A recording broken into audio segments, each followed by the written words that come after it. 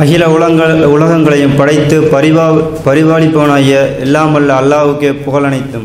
அஸ்ஸலாமு அலைக்கும் வரஹமத்துல்லாஹி வபரகத்துகும் இந்த மனிதன் வாழ்க்கையில் விரும்பக்கூடிய ஒரு மிகப்பெரிய ஒரு செயல் என்னன்னு விரும்புவான்னா வெற்றி.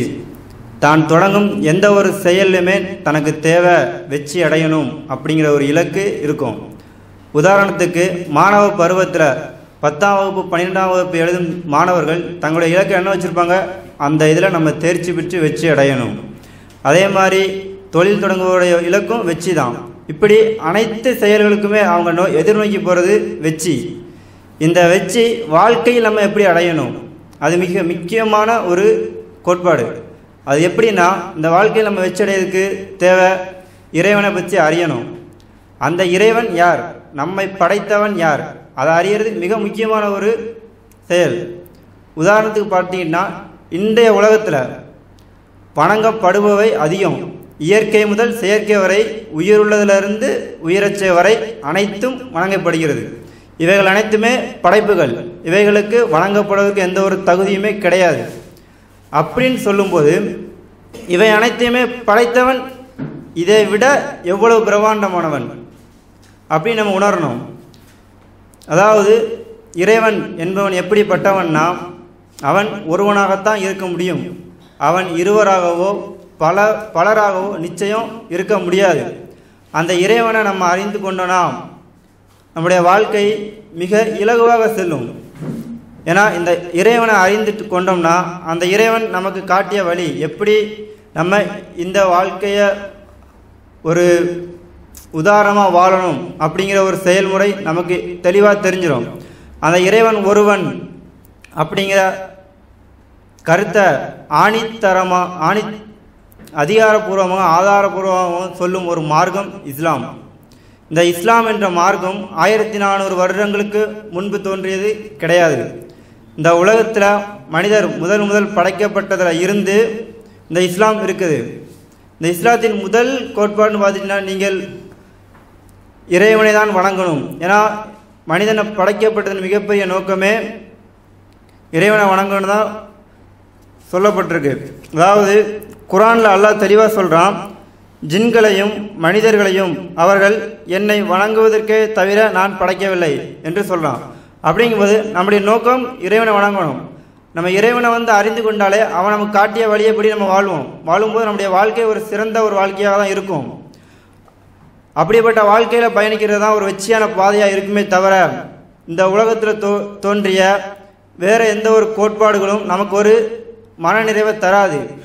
அந்த கோட்பாடுகள் இந்த வா உலகத்தில் மட்டுமே நமக்கு வந்து ஒரு வெற்றி என்ற ஒரு எண்ணத்தை தரலாம். ஆனால் அது ஒரு தோல்வி.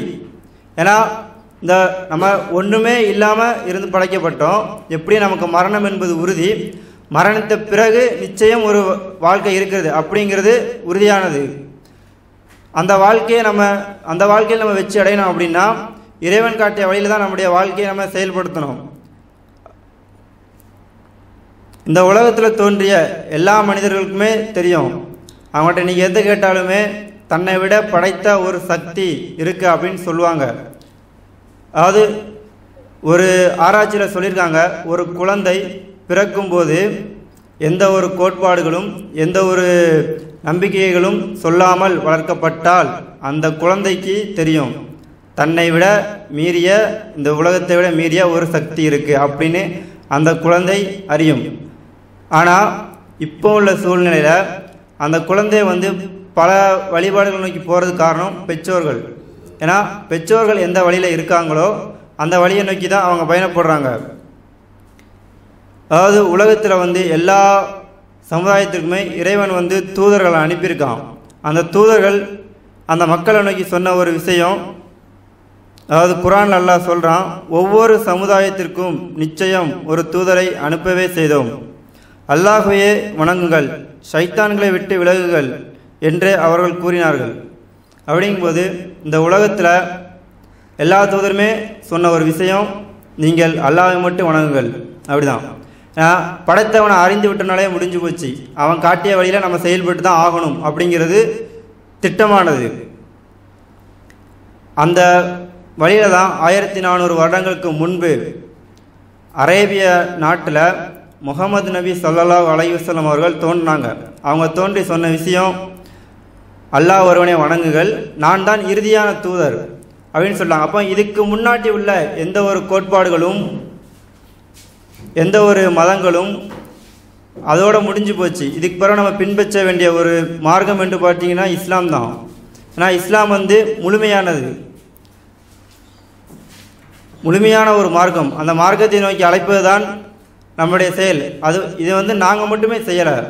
எல்லா தூதர்களுமே இறைவனை நோக்கி தான் அணைச்சாங்க.